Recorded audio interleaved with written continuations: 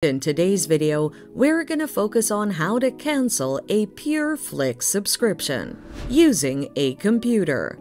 Go to your computer's web browser and log into your PureFlix account via www.pureflix.com. The link is in the description.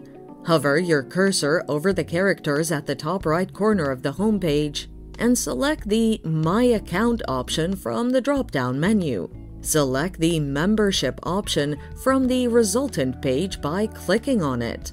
Click the Cancel My Membership button at the bottom of the membership info page to complete the process. Using a phone.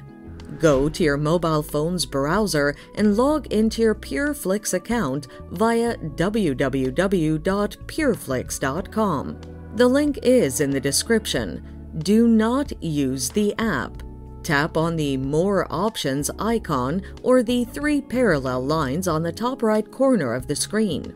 Head to Character, then tap My Account. Tap the General option on your account info page and then the Membership option from its drop down menu. Scroll down the resultant page and tap Cancel My Membership to complete the cancellation. And there you have it. Canceling your PureFlix subscription is that simple.